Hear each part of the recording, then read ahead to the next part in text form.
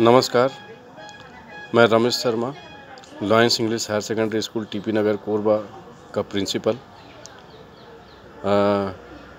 Korba district artist association का कोषाध्यक्ष। और साथ ही आपको बता दूँ कि मैं शौकिया तौर पे कह लीजिए या प्रोफेशनली कह लीजिए मैं एक एंकर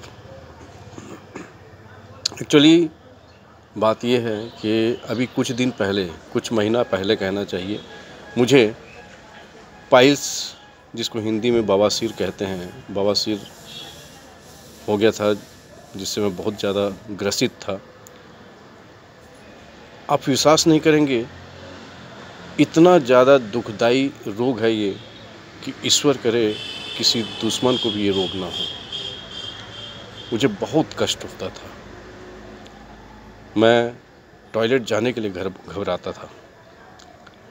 और मतलब इतना ज़्यादा तकलीफ़ होती थी मुझे कि मुझे ऐसा लगता था कि नौबत ही ना आए टॉयलेट जाने की। लेकिन एक दिन और कई बार मैंने डॉक्टर से भी चेकअप कराया, डॉक्टर, डॉक्टर्स को भी दिखाया, लेकिन डॉक्टर मेडिसिन देते थे। मलहम देते थे, वो मैं यूज़ करता था, लेकिन सारे जितने मेडिसिन थे, मलहम थे, सारे निरर्थक। एक दिन अचानक मेरी मुलाकात एक ऐसी शख्सियत से हुई, जो कोई परिचय का मोहताज नहीं है। आप उन्हें भली भांति जानते होंगे, वो हैं voice of India fame Mohammad Zakir Hussain भाई।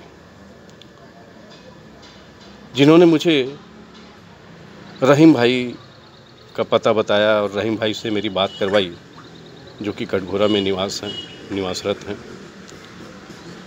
उनसे गुजारिश की कि इन्हें ऐसी ऐसी शिकायत है, ऐसे सब परेशानी है, इनका कोई इलाज हो तो बताइए।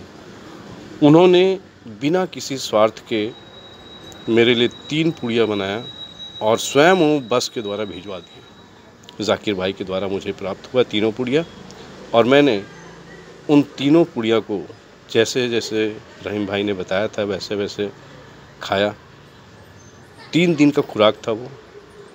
तीनों दिन मैंने उसे दही में फेंट कर सुबह खाली पेट में खाया और उसका जो परिणाम निकला वो किसी चमत्कार से कम नहीं था। इतना ज़बरदस्त परिणाम कि ये एक, मैं आपको और बता दूँ कि एक ऐसा रोग है जो एक बार होने के बाद बार बार होता है। लेकिन रहीम भाई, जो कि मेरे ज़िंदगी में एक फरिश्ता बनकर आया, उन्होंने मुझे जब दवाई दी, मैंने जब इसका सेवन किया, उसके बाद से आज तक मुझे ऐसी कोई प्रॉब्लम नहीं हुई, ऐसी कोई समस्या नहीं हुई। मैं उनके और उनके परिवार वालों के उज्जवल भविष्य की कामना करता हूँ। ईश्वर उनके उनको सुख शांति समृद्धि ऐश्वर्य वैभव सभी कुछ प्रदान करें। धन्यवाद।